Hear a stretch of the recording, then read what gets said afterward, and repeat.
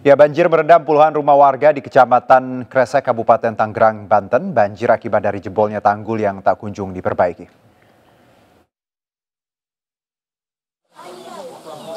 Sejak Kamis malam, sedikitnya 40 rumah warga di Desa Pasir Ampo, Kecamatan Kresek, Kabupaten Tangerang, Banten, terendam banjir. Ketinggian banjir terus meningkat, namun warga memilih bertahan karena khawatir barang berharga mereka terbawa arus.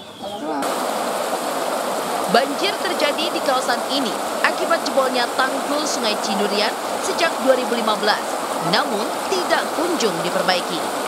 Padahal pengurus RT, RW, serta kepala dusun sudah mengajukan permohonan perbaikan, namun belum ada upaya pemerintah setempat hingga saat ini.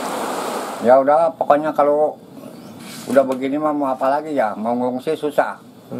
Susah. Tenda jauh, nggak ada lah, bukan jauh. Nah, itu tanggulnya jebol. Akibat tanggul jebol, nggak diperhatikan sama pemerintah. Karena kan itu jebol itu dari 2015 kok pemerintah tidak ada reaksi. Sedangkan desa, camat, dan kabupaten pun tahu. Bahkan provinsi juga tahu, pernah meninjau. Tapi dari sampai sekarang belum ada reaksi. Jadi mohon saya situ pihak pemerintah secepatnya minta dibangun. Sedikitnya tiga titik tanggul Sungai Cidurian jebol akibat tergerus arus sungai. Jebolnya tanggul sepanjang 87 meter berada tepat di samping permukiman warga. Warga berharap pemerintah segera memperbaiki tanggul yang jebol agar banjir tidak lagi merendam rumah mereka. Dari Tangerang, Banten, Aimarani melaporkan.